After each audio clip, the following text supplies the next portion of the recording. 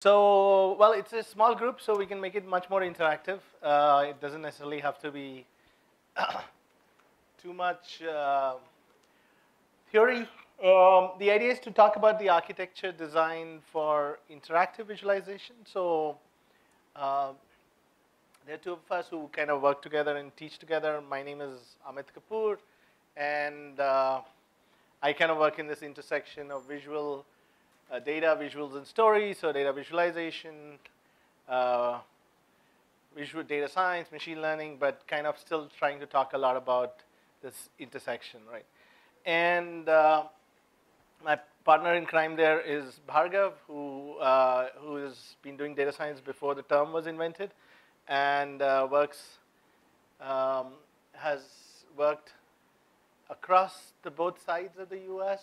as well as India and uh, many different areas, and currently runs a startup trying to build a recommendation system uh, product and personalization product uh, for companies and uh, for B2B sales. So, um, okay, how many have, have done any, uh, how many have made, done visualization? I'll ask the easy questions first. Okay, how, okay, that's pretty good. How many have done uh, interactive visualization? Um, okay, far less hands. How many have thought about how to build something as an architecture for doing interactive visualization? Uh, okay, that's great. Well, so we have a few people who have uh, also thought about it. So that's great. We can talk about it. Um, so let's take a simple example, right? Like let's take the most basic. Uh, let's make the most basic data set. Uh, this is the data set on the left. It's just 15 data points, area, sales, and profit. Um, one categorical, two quantitative data points. And uh, we have a very simple interactive visualization on the right, right? We are, uh, we have, uh, we, we have what you would call a kind of a bar chart, but really encoding area as bars, area on the x-axis, sales on the y-axis, profit as percentage as color, right? Profit percentage as color. And uh, we then also have a rule, which is the average. So the red line is the average. Uh, and then we have a brushing action that's happening. There's also a hover happening. But there's a brushing action happening when you brush, the area that's selected actually recalculates the recalculates the average, right? So whatever is the area selected in that. Now, if we were to try to unpack this, right? I mean, to try to unpack this um, visualization, we basically made um, we first did a data transformation because we don't have profit percentage. So we needed to calculate another column, which is profit percentage. So we had one column more, which was added. And then we have two layers that we created. So two layers, literally one, which is kind of the bar chart, if you're comfortable with the chart terminology, and a rule chart. And then we layered it on top of each other. And then we linked it with some interaction so that when we're doing a filtering on the first, on the bar, it is recalculating the line on the second layer, right? So just a simple visualization requires actually multiple steps to create or multiple steps to um, think about. And this is a good way to think about how we can think about architecture for visualization, right? Um, so if you want to think about architecture, think of these four layers, right? So there is a data layer, there is a transform layer, there is a visual layer, and there is an interaction layer, right? So there are these four basic components that are layers that, are, that the data has to go through where, before we get into a visualization. Now, if we think of a very simple architecture, which is if you're trying to do visualization on the browser, uh, or which is this example, everything is getting done on the browser. So I'm kind of think, articulating the server client architecture there. I have the data on the server, so I will have this data as a CSV and I can do then all the subsequent elements required within this browser to do make this happen, right? So I can transform my data in the browser, I can encode it in different layers visually, and then I can also code or encode the interactions that need to happen between the layers, whether the layers are on top of each other or are composed in a dashboard way, right? So, but everything from the data onwards is happening on the client side, right? And this is pretty much kind of the grammar of graphics. Ooh, I think the label below has changed, but okay. it's the grammar of graphics. And uh, if you look at this on the right, it is really great, this triangle. It's really flexible. I can do everything I want on the client side. It is uh, high latency or low latency in the sense I can interact with it, everything. The only challenge would be in scaling. So the data still has to come from the server. How does it go from the server to here? But once it can go there, I could probably do everything on the browser, right?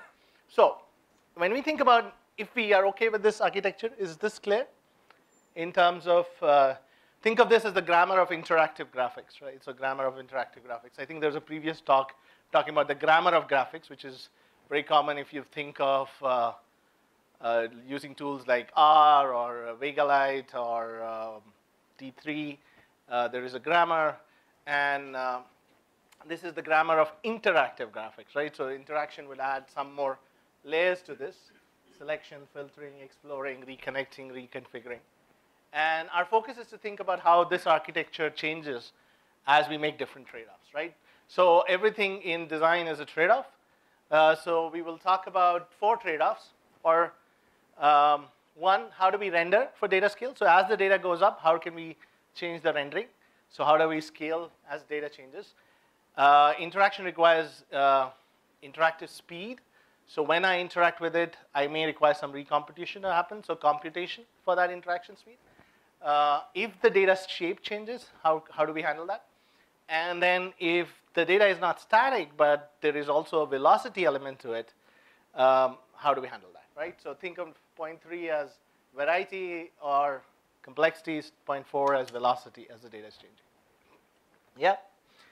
So rendering for data scale. Um, so five data points are okay, but if we have a billion or billion data points, what do we do? Right, so it's, when we have a million or data, uh, data points uh, or a large set of data points, what are our options? Because that's what we want to talk about, rendering for data scale. And uh, so let's think about it. What are the options? I have this uh, points that I'm trying to render, which is about a million points. And given that the pixel on my dated MacBook Air is 1400 by 900, it's literally equal to the number of data points I, am trying to do, right? So if I plot it just on an x and y axis, I am literally overplotting, right? I can't see anything. So what are my options? What are my options?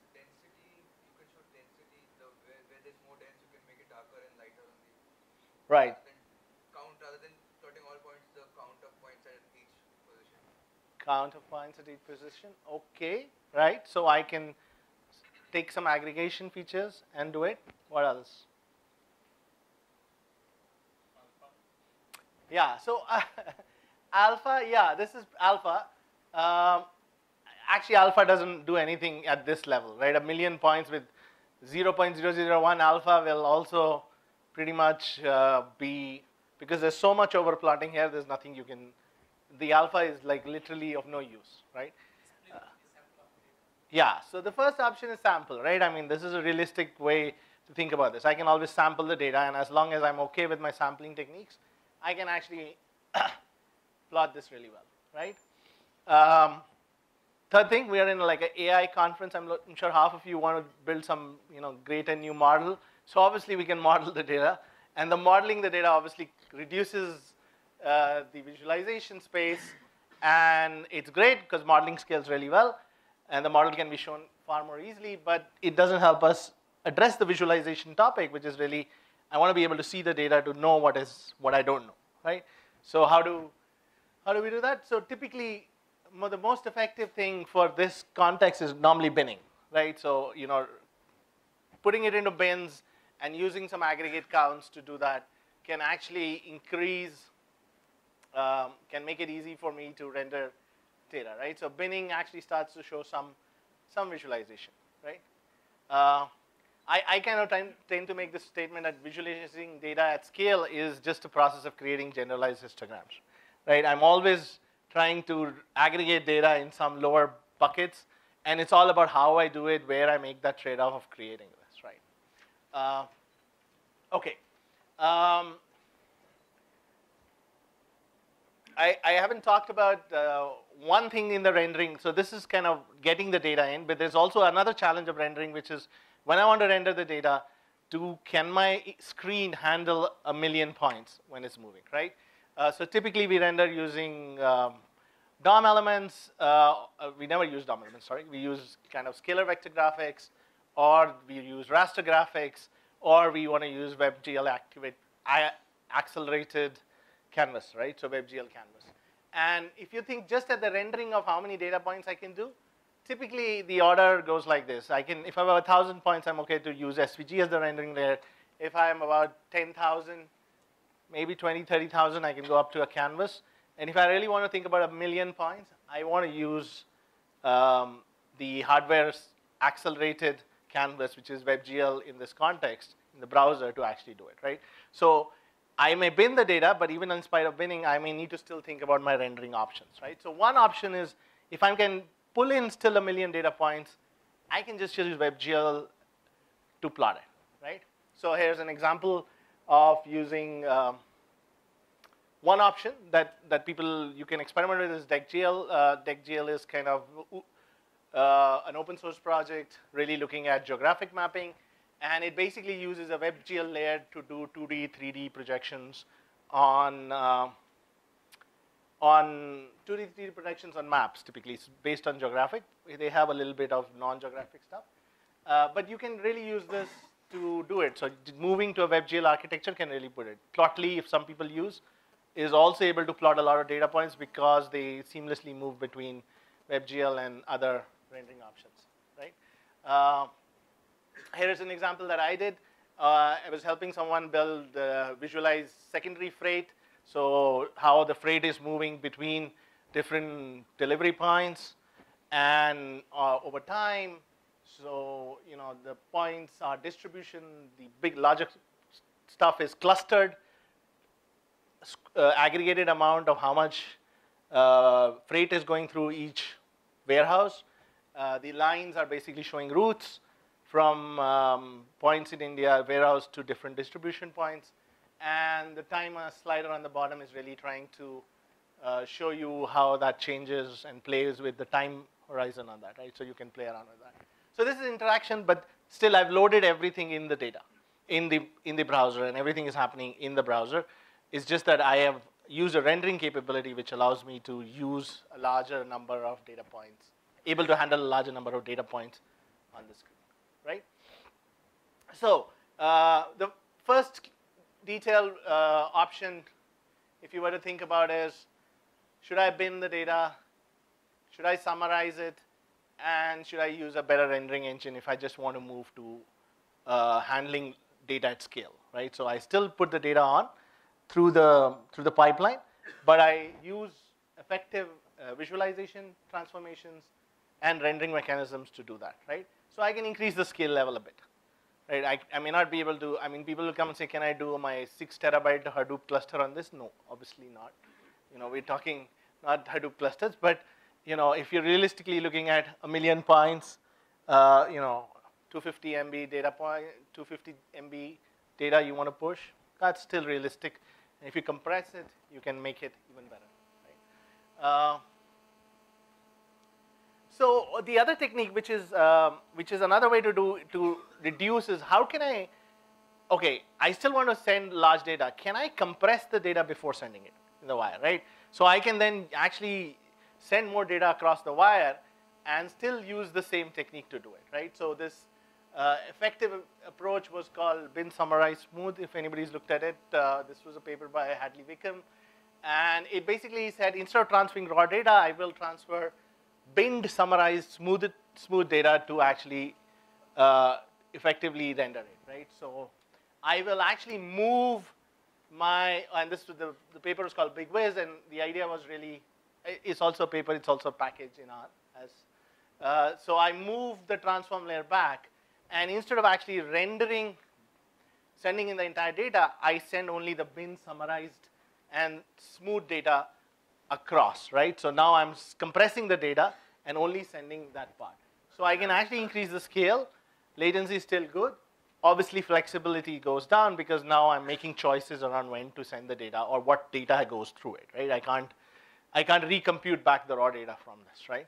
If anybody, uh, if you can take this approach one level more, if somebody uses Python, for example, well, if I've already bin the data, if I've already summarized it and smoothed it, instead of doing the visual rendering on my image, on my client side, why don't I just make the image also on the server and just send the uh, image across, right? And then just leave only the interaction part there, right?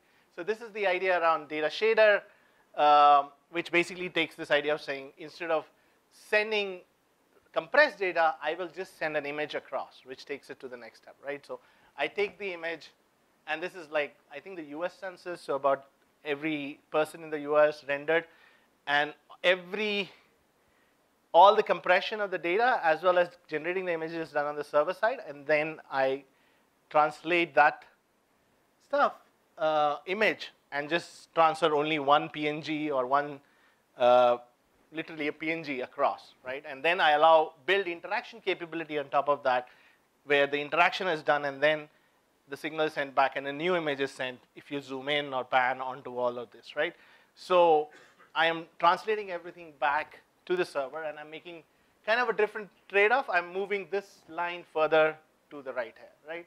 Uh, so now, instead of only bin and summarizing, I also have to think about encoding options, what exactly the chart would look like, visualization would look like, and I'm sending it across this, right?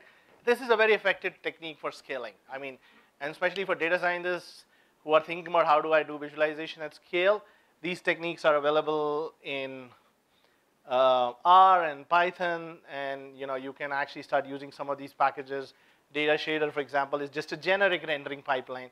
So you could use that as a rendering pipeline with your favorite visualization package, and just take that concept and then use your visualization package to render it, right? So a uh, lot of opportunity to kind of even in your notebook how to scale up, right? Uh, you obviously scale up, you get latency, good latency can be still done, uh, but it's obviously less flexible, right? So now you can't do a lot of the visual encoding changes. You have to go back uh, and recompute this and send it back out, right? Um, does that make sense in terms of these trade-offs? Uh, these are very practical approaches in terms of visualizing, if you're thinking of really visualizing data at scale, right? So the architecture design is focused on how do I look at larger, larger scale, then these are good choices to think through, right? Um, okay, that's one dimension, one trade-off, right? The second trade-off in interaction is really interaction speed, right? Uh, when I interact with a visualization, I want an immediate feedback from the visualization. If there is more than 200 or a uh, 500 millisecond of delay, it may not be allow me to do interactive data analysis or interactive visualization, right? So if I am selecting an area or zooming into an area and it takes three minutes for the new visualization to render, then it doesn't really work out, right? Then I, I can't really do interaction. The interaction is just, um, is more like a batch process than really interactive in nature, right? So there's a lot of study done on what's the latency that you need to do it. And that's another trade-off to make when we have we're thinking about this, right? So, and this is especially true for uh, multi, uh, let's think of it as multi, um, multi-chart layouts, right? When you're really interacting on one part of the chart and you want to see um, the representation on the other part, right? So, uh, common example is cross-filtering. So this is an example of cross-filtering where we're filtering on some dimension, brushing on the lower part, and as we're brushing, we want to see the data represented in the other elements. So we want to see it in the map, we want to see it on the other parts, and we're really trying to understand how this looks right, right? So um, uh, one approach to this, and this is more uh, uh, just a demo, but was really can I create these aggregation cubes and um, which allow me to do cross filtering, but I really build it on locally and allow people to cross filter really fast into this. So cross filter, the original library, uh, was again built on this concept. This is much more a concept taking both the idea of cross filtering, but also using uh, tile generations to do it. But the idea is basically I'm aggregating the data, keeping cubes, pretty much like you would do in a database, and then using that to drive interaction faster, right? So I'm not just getting the data, I'm also creating cubes of the data or index data or hash data in a way that I can uh, cross-filter them very effectively, right? And that's the one way to improve uh, latency around it, right? Um, uh, it's still happening on the client side, um, but whatever pre-aggregations I do and make, those kind of operations become faster. So I do remove my flexibility down a little bit, but I can still improve the latency, uh, interaction speed on, on, on the visualization, right? This is the same idea if you were to translate on the server side. I've not talked about it, but on the server side is caching, right? So if I pre-compute all my visualizations or data in uh, and cache that data set, and then I'm only sending a very small amount of data set, I could actually get interaction speed just from the server side, but now using cached data as opposed to memory cubes, right? So that's another way to think about this trade-off of interaction. Um, another technique um, which is uh, which is interesting to try, especially those who have larger data and you want to do interactive speed, is approximate querying. So approximate querying would basically mean if I want to interact with a chart and I want an answer correctly, uh, it may take a long time. But if I have an approximate query engine on top of my data base or in the middle of the database, think of it as a middleware, I get an eventually consistent answer, eventually consistent answer, but initially I get an approximate answer, which is pretty much like sampling. So sampling my database to get an answer for that query. Uh, and it can be up to 50 times faster than the actual one. So this is great for if you're really dealing with large data sets, which luckily I don't, but a lot of people want to interact with you know terabytes of data, then approximate querying can be one way to do it. From a visualization point, so there are two challenges. From a database point, you need to figure out how to imp implement an approximate query engine in the middle. From a visualization challenge, uh, it also has one additional challenge. So now I'm querying the approximate result and getting some results. So I'm doing the transformation on the server. Everything else is on the client. It is still really fast. I can do interaction really well. But what is the challenge with visualization is that now I'm getting an approximate result. So I need to find a way to show this uncertainty in my data, like we would show on a projection. And in a projection, now again, you have to think about how to show the uncertainty that eventually my data is this answer, but currently you're seeing an approximate version of it. So the visualization challenge normally using approximate engines is how do I how do I, I lose one more encoding channel because I have to think about how to show with uncertainty on the results also, right? So that makes it a much more harder question to do. For, for a very uh, basic, for my understanding, so is it because I mean that approximate error sort of adds up as your projection goes on? So uh, the uh, one way to think about is is basically sampling. So suppose I'm trying to um, I'm trying to minima, find a minimum value within my one column, and I want to get that value, right? Now, if I have, want to scan the entire database, I will probably need a longer time to do it. Let me sample the column intelligently and show you an answer, and also the range of likelihood of that. So instead of getting one answer, I'll probably get um, a, like, a, a mean answer and the range right? And yes, eventually the system will can calculate given enough time.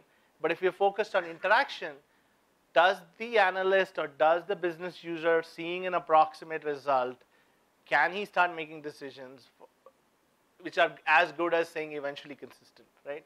And that is a different trade-off. I mean, if really you want to do large interaction at scale, but also have interaction speed, then this is one approach to do it. The other approach is obviously what we talked about as in-memory cubes or caching, right? So caching is an alternate way to do it in the sense I cache the data then, then I may not have the most freshest data, but I'm kind of caching it. So the linkage to kind of the data layer becomes much, much, much stronger here, right? The third approach, if you want to think about this, or more approach, is really use a faster database, right? So if I, if my challenge is I don't want to do caching, I don't want to do pre-computes, then can I just use a faster database to do it? And so GPU database that some of them are, are kind of thinking about in terms of high, uh, really low latency uh, database. This is um, MapD, an example from MapD, and uh, it's open source. At least the uh, the database part is open source, so you can actually use it. Uh, and the visualization is basically sending an image in this case. So, but because the database itself is GPU, it is not really sending an image. It is really sending me directly the GPU vectors, and I'm plotting the GPU vectors itself, right? So I can actually make this really faster if I can get my querying happen very faster. And this is, I think, a large tweet database, and uh, I am able to interactively analyze and scan through it and look through the results, right? So getting interaction speed on larger data is not as simple. You will have to make some choices, and that's what you know architecture design in, in a lot of ways thinking about this, right? So I'm getting faster responses, but literally doing all the transformation and visual encoding on the server side. But in this case, the server is actually literally a GPU, right? So it's doing a GPU uh, computation and pushing it this side. I can get, uh, it can be highly flexible, very low latency, scale. Um, so it looks like this is the golden solution, but I missed one more dimension, which is really how much data can I really store on the GPU and kind of the cost of doing this, right? So it may not be most effective for all your data, but it may be really effective for uh, your data that is really mission critical and you want to operate on it. So operational database and really looking at fast insights from it, right? So if you add the cost dimension to it, the amount of memory dimension, it'll make you a difference, right? Okay, so far okay? Any questions? Okay, uh, how do we think about complexity? So uh, this is the third challenge, right? Uh, which is in visualization. It's easy to make visualizations when your data does not, uh, is very static, and I make it once, and I know everything that's there in the data set. But if my data is, is actually uh, not only static, but it changes in variety, or it has some other characteristic which make it harder for me to visualize how do I handle this, right? Um, one approach is um, really thinking about responsive visualization to space and data, right? So this is really, uh, um, it, it's much more on a rendering challenge, but the idea is effectively talking about my visualization can adapt itself depending on the size of the visualization space that I have, as well as the number of data points that I'm doing, right? So it's not a scatter, but as the data goes up, I can actually go to a heat map and, and even further, if the data goes keeps going up, I can go to a contour map and really go forward in it. So it's really adaptive to the space and data that is there.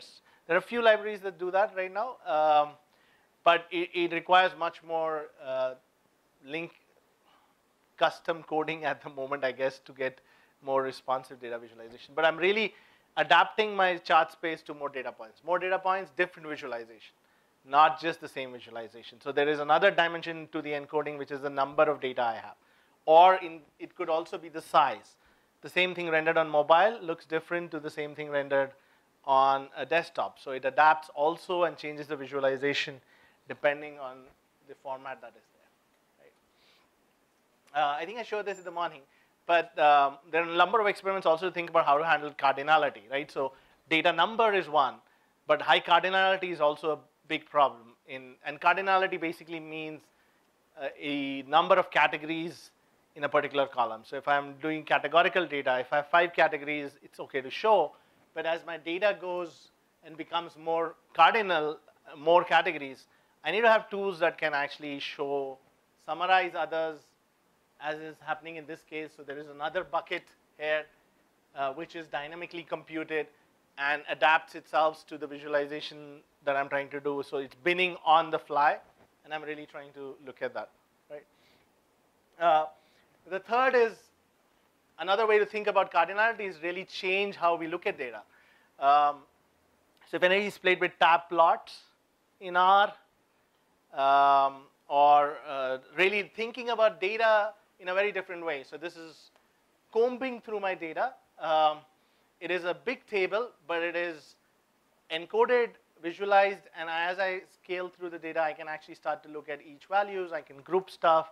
I can start to, so I can actually handle large amount of data variety, but allowing at the same time to interactively uh, work through it and learn about it, right? So I'm both visualizing summary features um, plus interactively going through and I can start to see the patterns within each columns if I am, right? So the moment you have visualization which has high cardinality, which has high, uh, high variety, uh, or can change in size dramatically, you have to think of different alternatives. A lot of this is not easily available in tools, and that's again a decision you have to make whether it's worth building this in your architecture or not, right? Um, yeah.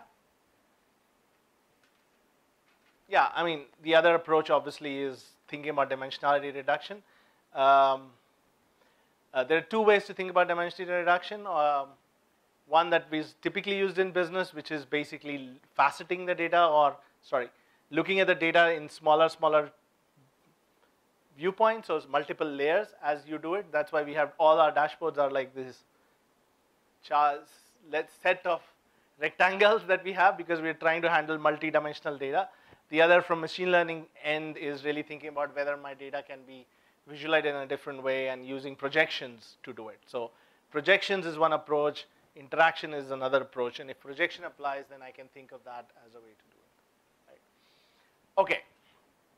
Uh, last trade-off. I mean, this one is a, uh, a, relatively an easy one, which is the uh, velocity one. So if my data is really moving, how do I think about this, right? So if my data is refreshing at a rapid pace, um, how do I handle you know real time or near real time data or refreshes uh, in it? I think I only have one example of this, um, which is um, I think this is one of the original time series visualization. Uh, very common pattern now. Uh, this was from Cubism, I guess, Cubism, and it is really looking at uh, from a visualization context, it's not really hard. And data handling context, actually streaming data is much more easier to handle than any of the other data. Because the data that I'm handling at any time is fixed, and I'm mostly adding one data point and dropping one more data point. If I'm really handling streaming data point. The data point happens, the visualization challenge becomes harder for real time or streaming data is when when I want to actually store large amount of data. But if I'm only looking at a fixed window of data, then visualization mostly ends up being a slightly easier way, and I'm only trying to uh, visualize the, the last n window or the last 10 minute window. And the visualization just means shifting data, and it becomes actually not that hard to do it. Um, okay. Um, I guess this also reflects I haven't done enough on this area, so maybe there are more challenges to do this. Uh, but um, yeah, so um, thinking about interactive visualization is great. We don't have tools to, that allow us to do a lot more than we would like to do, um, both in terms of just creating that first simple chart that I showed at the start of the um, start of the talk, uh, to then trying to build products in or uh, where we will have different trade-offs that we want to do. So my advice is really to think about um, more and more easier client-side solutions if you can initially before you start to think about uh, more harder solutions on the server side. Um, so a lot of possibilities are there, as I talked about, for data scale and computation on the client side. And when you feel like that does, does not give you the right trade-off, you can think about what other trade-offs I want to make in the server side to do that, right? Interactive visualization at scale is not removed from my architecture design around database or what I choose on the raw data and transfer, right? I mean, if that that linkage is really strong, if you make choices on the front end in terms of how you render it, what libraries you use, how adaptive they are, there are again same choices you have to make in terms of caching and uh, transformations or faster databases on the back end to really do interactive data visualization, right? So this spectrum requires kind of thinking about both these trade-offs. Yeah. Um, okay. I think I went at a rapid pace, but this is what I have. Um, we still have some time. Um, any questions, thoughts, people who've done this stuff and build products or built, will walk through these trade-offs if they have questions or thoughts they would like to share. We probably have a mic also.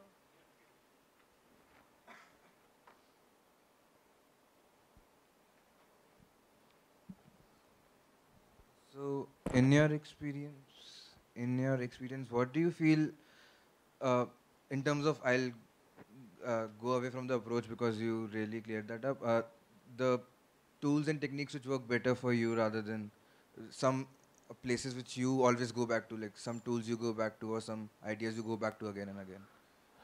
Um, so I think it depends a bit on my context, right? So my context is uh, both in terms of teaching this stuff as well as mostly handling smaller data, right? Um, so my biases towards tools that are is pretty much the first slide that I do. That I want just the data and everything I want to do uh, uh, kind of on the client side or the tool able to do handle it. And or client side, I, I, don't really mean client side, but I, since I'm dealing with small data, I'm comfortable handling everything in memory or in, in, in that. So that kind of biases a lot of my trade-off, a lot of my uh, my usage. In terms of tools, you know, I, I think I'm not very different from most data scientists, I would say. You know, if, if I'm using the R universe, you know, the tidyverse universe is what I would use. Again, interaction options are really not that great in R. Uh, or they are great, but they're all bolted on top, like through HTML widgets. So, uh, which means they're great for single charts. But if you want to get um, crosstalk, as they call it, and get multiple charts to work, then they're harder, and then you have to basically adopt like a dash, dashboard Shiny. framework like Shiny to do it. Um, Python Universe is actually pretty much more harder. My bias there is Altair right now because that's an offshoot of uh, uh, Vega Lite, uh, Vega. So it, it allows for composition and it allows for creating a lot of these charts. Uh, but doing interactive multi-dashboard at very large scale um, stuff like data, shader and all that helps, but in that ecosystem, I think there's so many options and so many choices that it's uh, hard to pick one and just go deeper in it. You ultimately end up picking smaller stuff to do it. And a lot of this stuff is not hard. Uh, a lot of this stuff is hard, right? Even though uh, I think the Anaconda Datashader kind of thing tries to do a lot of these large scale data. Um, in the JS ecosystem, obviously Vega D3 is what I, I kind of go back to. Um, Vega because it's kind of Vega because it's declarative and allows me to do interaction declaratively. D3 for custom stuff, P5 for kind of doing uh, generative and creative stuff. Um, yeah. Um, and trying out new, and I think the other thing to keep in mind is that new things keep coming up. So at one point you would say, I want to do map visualization. I want to use leaflets and all that.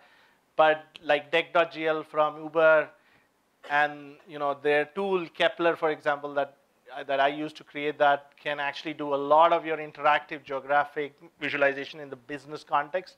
And I've seen businesses adopting it uh, as part of their tools. So it is also not a standing still equilibrium. So as we start to use more of this WebGL stuff, I'm guessing we'll see new options which will make it very specific for domain specific problems. So that's another kind of, you know, keep an eye out for stuff that comes out which is really nice. Kepler is really nice if you focus just on geographic data. Yeah? Question there, huh? Yeah, great talk, Amit. A uh, lot of insights to work on. Uh, one question would be on the mobile interfaces. How mm. do you hmm. see all these uh, efforts evolving with mobile penetration increasing drastically in terms of visualization? So I, I, I think, I mean, mobile has its, to be honest, we, we do visualization. And if you think about it, most of the stuff is optimized not for touch interface, but visual kind of mouse interfaces. So if you think about pure interaction, a lot of these examples won't really work, uh, you know, because, so mobile requires a different way of thinking. Um, um, I think there are two things to think about there. One is adaptivity becomes much more complex. I kind of just talked about it in a very narrow context here, but you know, when you start designing for mobile interfaces, being adaptive to different screen sizes really brings it into focus how to think about it. That's a, also a little, bit of a UI and design kind of imperative which overlaps with data visualization.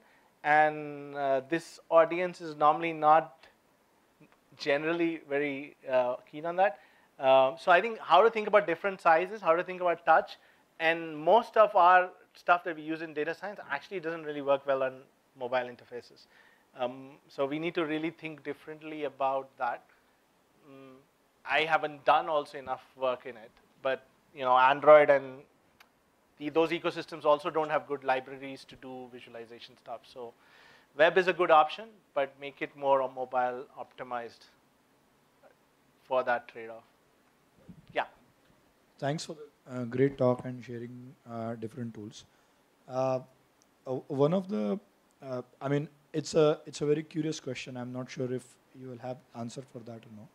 Uh, many times, business users feel comfortable in interacting with the system with the language that they understand. Mm. Like a lot of corporates have 800 reports in their whatever visualization tool that they use, correct? Mm -hmm. But nobody knows in order to get what they want, what report to click and uh, do what with that. So that's where they struggle. And the idea is to have uh, an interface wherein they could chat, I mean, where they could send message uh, to a system and message will have machine comprehension, would understand, would actually convert the query which is written in English to SQL and mm. get the data out from their data source and Correct. intuitively decide what visualizations to what visualization to show. Yeah. Uh, do you know if any of the tools uh, are if anybody is really working on that uh, in, at some stage, or could you share some examples of? Sure. Oh, I mean, I, I consult or help a friend out or mentor his company, and he's building something like this. But um, which kind of addresses uh, the question that you have. Uh, but the question is not a just simple question of architecture for the interactive part, right? The moment you want to um, get a natural language search-based query system to generate visualization, um, what you need is first, I need to translate that into SQL query, as you said. But that's not only enough. I need a data map of all my data sets joined and have some knowledge graph built on top of that that I can use it, right? Yeah, that, so that part is actually harder in the business. Why businesses have 8,000 or 8 reports is that these stuff is all siloed out and not together, right? So uh, the company that um, um, I was referring to, Sprinkle Data, they try to kind of combine this data set, uh, build in knowledge graph on top of it, and which works really fine for uh, you know startups or you know, emerging companies. But I'm not saying it's an easy solution for large companies to do it, right? Um, trying to do search-based query and auto visualization, a lot of tools have tried, right? Power BI has search-based, very, very, very, very, basic, right? Because what it lacks is not so much, um, it does it does not have deep domain knowledge of that. Uh, like, I mean, this search-based query would only work once you know the entire data sets that they're in your system, and you can actually do it uh, you can actually kind of find all the connections and create it.